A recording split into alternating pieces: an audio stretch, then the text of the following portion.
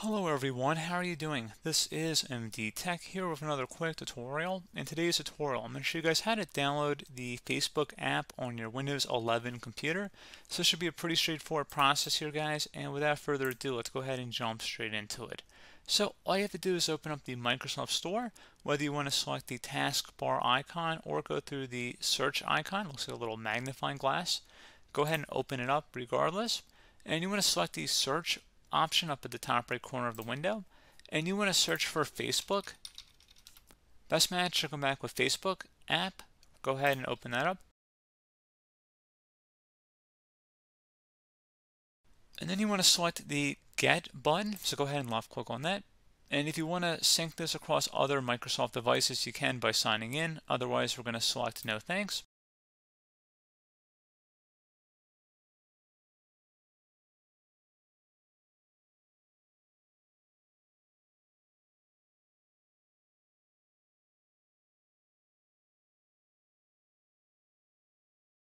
And once that's done, you can go ahead and launch the Facebook app, and then it'll give you the option to sign in. And that's pretty much it, guys. So, as always, thank you for watching this brief tutorial. I do hope I was able to help you out, and I do look forward to catching you all in the next tutorial.